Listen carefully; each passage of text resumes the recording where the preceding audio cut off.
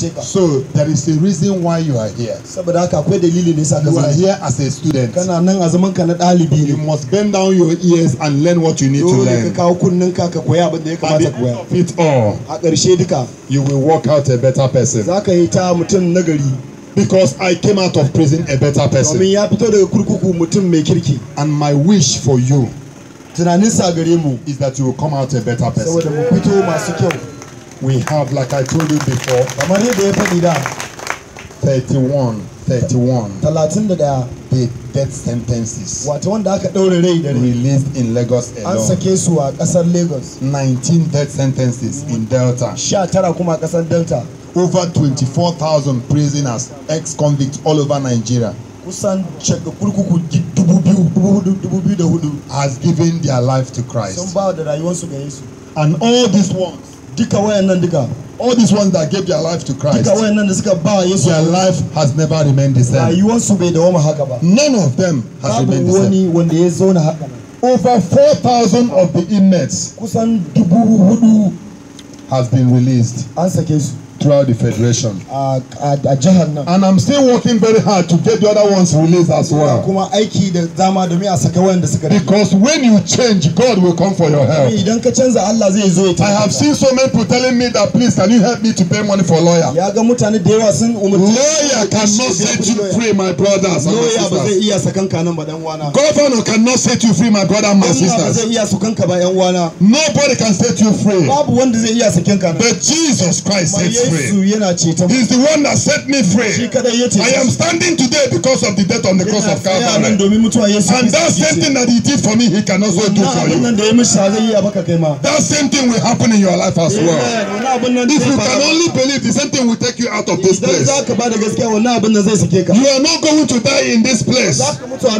As far as I've my feet. Inside this place, tunda ya sa gaban shi a nan gidan you are not going to die here. za ka mutu a nan ba Nothing will kill you ba here. abin da zai kashe ka Can I tell you the good news? ko in gaya maka sabon labari The Bible says, Whoever Son of Man set free is free indeed. yes littafin ce duk wanda dan Allah ya sake shi ya sake shi When God has set you free, you are no longer in bondage. idan Allah ya sake ka baka cikin kunci Am I making sense at all? yana faɗin abu Okay, now let me ask you one bari question. tambaye ka wata tambaya If our president come here today and idan ask, shugaban ƙasar mu ya zo nan yau and ask our organ in charge, the DCP, say, open the prison for you to go ya home. ce ma mai gidan mu nan ya buɗe gidan yaron mu wuce fa He will open the prison ai zai buɗe and he will go home. kuma za mu je gida If the governor comes here and say, can you open the prison for them to go? He will open and you go idan home. gwamna ce ya buɗe ku je gida ai zai buɗe mu je gida But are you free then? amma ka samu yancinka No, you are not yet free then. ba ka da samu yancinka ba Do you know why I'm saying ka this? sa abin da ya sa yake faɗi haka When the president sets you free idan shugaban ya sake ka and you happen to go out there, kuma ka je can waje can Dangote trailer is coming with speed sai ga dogon trailer na zuwa da gudu and he needs brake, kuma ya ka- faɗi birki ya yanke will kill all of you. dole zai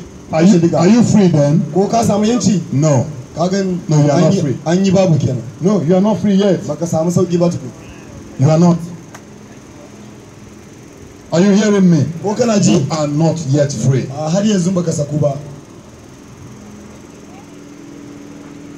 The only time you are free lokacin da kana ka samu sauƙi is when God has set you shine free. idan Allah ya cece ka The only time you are free lokacin da ka samu sauƙi is when God set you shine free. idan Allah ya cece ka There's one boy in uh, Kirikiri Maximum. His name is Temi Tokwe. akwai wani yaro a kiriki da ce mai da kwai He's serving death an sentence. ɗaure shi rai da rai ne And while he was in that death sentence, lokacin da aka ɗaure shi da mutuwa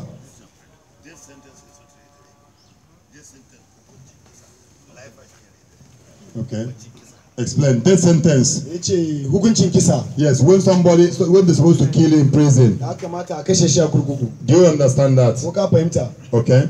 When you are in death sentence, idan aka ɗaure ka hukuncin kisa sometimes you are hopeless. wani lokaci baka da bege But this young man, I came to him, I came to prison to do a program like this. amma wannan saurayin da ya zo kurkuku haka ya wani taro haka As I was about to leave, he said to me, Sir, please, can you pray for me? Can you pray yake sai for me? wuce sai ya rike shi ya ce mai gida yi min addu'a And I said to him, sai ya ce Sorry, I am not the one that set free. ba ni bane nake ceton Do you believe in that Jesus Christ that set you free? da wannan Yesu da ke He said to me, he believed. I said, okay.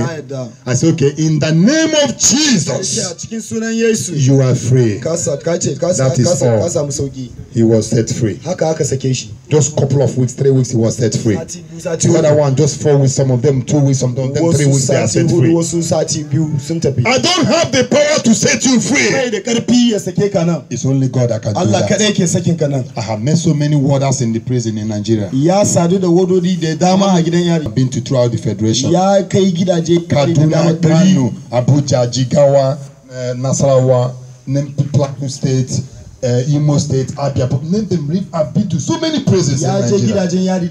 And so many personnel have come to me say, Can you pray for us? We need promotion. And when I say to them, Do you believe in the God that give promotion?